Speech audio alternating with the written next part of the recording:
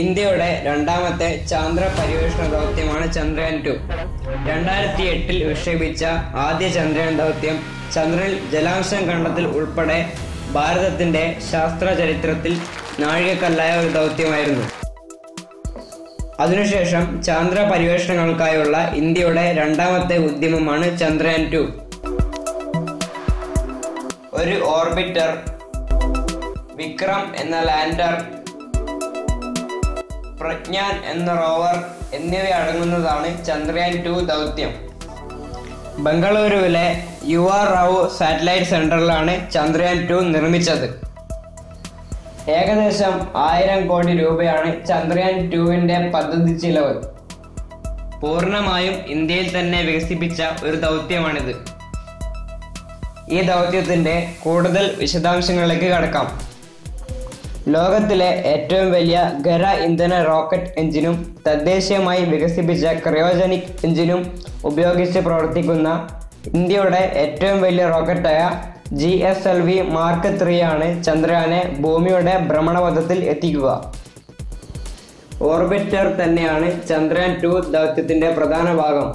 ആദ്യ ചന്ദ്രയാൻ ദൗത്യത്തിൽ ഉപയോഗിച്ച രണ്ട് ശാസ്ത്ര ഉപകരണങ്ങളുടെ നവീകരിച്ച പതിപ്പാണ് ചന്ദ്രയാൻ ടു ദൗത്യത്തിൽ ഉപയോഗിക്കുന്നത്. ആകെ എട്ട് പേലോഡുകളാണ് ഓർബിറ്ററിൽ ഉള്ളത്. ഓർബിറ്റർ നൂറ് കിലോമീറ്റർ ഉയരത്തിലാണ് ചന്ദ്രനെ ഭ്രമണം ചെയ്യുക.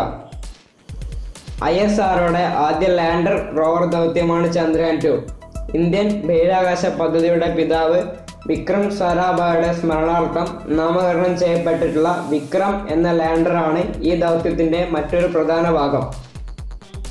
ചന്ദ്രനിൽ ഒരു സോഫ്റ്റ് ലാൻഡിംഗ് ആണ് വിക്രം ലാൻഡർ ചെയ്യുക. സീസ്മോമീറ്റർ അടക്കമുള്ള നാല് പേലോഡുകളാണ് ലാൻഡറിൽ ഉണ്ടാവുക. ഏകദേശം ആയിരത്തി നാനൂറ്റി എഴുപത്തൊന്ന് കിലോ ആണ് ലാൻഡറിന്റെ ഭാരം. പതിനഞ്ച് ദിവസമാണ് ലാൻഡറിന്റെ ആയുസ് പദ്ധതി വിജയകരമായാൽ ചന്ദ്രന്റെ ദക്ഷിണ ധ്രുവത്തിൽ സോഫ്റ്റ് ലാൻഡ് ചെയ്യുന്ന ആദ്യ ദൗത്യമാകും ഇത്. പ്രജ്ഞാൻ എന്ന ആറ് ചക്രമുള്ള റോവറാണ് ചന്ദ്രയാൻ ടു ദൗത്യത്തിന്റെ ഏറ്റവും പ്രത്യേകതയുള്ള ഭാഗം. ലാൻഡർ ചന്ദ്രനിൽ ഇറങ്ങുകയും റോവർ അതിൽ നിന്ന് പുറത്തേക്ക് വരുന്നതിനുമായി ഏകദേശം നാല് മണിക്കൂർ സമയമെടുക്കും. പതിനഞ്ച് ദിവസത്തിൽ അധികമാണ് ഇരുപത്തിയേഴ് കിലോ ഭാരമുള്ള റോവറിന്റെ കാലാവധി. ഏകദേശം അഞ്ഞൂറ് മീറ്റർ വരെ സഞ്ചരിക്കാൻ കഴിവുള്ള റോവറാണിത്. ഇനി ദൗത്യത്തിന്റെ വിവിധ ഘട്ടങ്ങൾ ഏതൊക്കെയാണെന്ന് നോക്കാം. ജൂലൈ ഇരുപത്തിരണ്ട് ഉച്ചയ്ക്ക് രണ്ട് നാൽപ്പത്തി മൂന്നിന് ശ്രീഹരിക്കോട്ടയിലെ സതീഷ് ധവാൻ സ്പേസ് സെന്ററിൽ നിന്ന് G S L V mark three M one റോക്കറ്റിലാണ് Chandrayaan two വിക്ഷേപിക്കുന്നത്. തുടർന്ന് പതിനാറ് മിനിറ്റ് കൊണ്ട് ബഹിരാകാശത്തെത്തുകയും ചന്ദ്രയാൻ ടു റോക്കറ്റിൽ നിന്ന് വേർപ്പെടുകയും ചെയ്യുന്നു.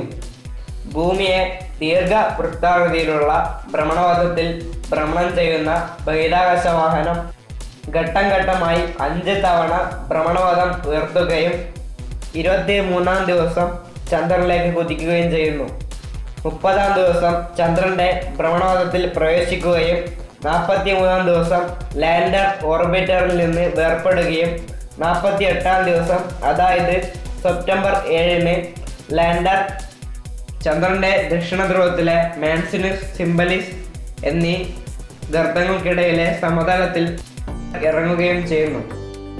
ചന്ദ്രന്റെ ടോപ്പോഗ്രഫി ഉപരിതലത്തിലെ കമ്പനങ്ങൾ ചന്ദ്രനിലെ മണ്ണിന്റെ താപ ഭൗതിക സവിശേഷതകൾ ചന്ദ്രനിലെ ധാതുക്കൾ രാസഘടന ജലസാന്നിധ്യം എന്നിവ പഠിക്കുകയാണ് ദൗത്യത്തിന്റെ ലക്ഷ്യം. ചന്ദ്രന്റെ ത്രീ ഡി മാപ്പിങ്ങും മൂലകങ്ങളെക്കുറിച്ച് പഠിക്കലും ചന്ദ്രയാൻ ടുവിന്റെ മറ്റു പ്രധാന ലക്ഷ്യങ്ങളാണ്.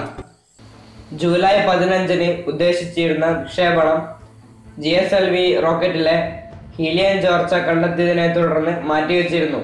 റോക്കറ്റും ഓർബിറ്ററും ലാൻഡറും റോവറും അടക്കം പൂർണമായും ഇന്ത്യയിൽ തന്നെ നിർമ്മിച്ചതാണ് ചന്ദ്രയാൻ ടു ദൗത്യം. ഐ എസ് ആർഒയുടെ അമ്പതാം വാർഷികത്തിലാണ് ചന്ദ്രയാൻ ടു എന്ന പദ്ധതി ഏറ്റെടുത്തിരിക്കുന്നത്.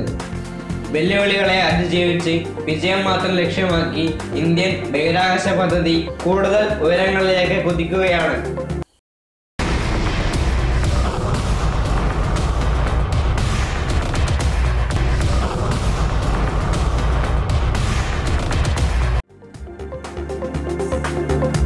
ഇതുപോലുള്ള കൂടുതൽ വീഡിയോകൾക്ക് ഈ ചാനൽ ഇന്ന് തന്നെ സബ്സ്ക്രൈബ് ചെയ്യുക. വീഡിയോ ഇഷ്ടപ്പെട്ടാൽ ലൈക്ക് ചെയ്യുക. നന്ദി.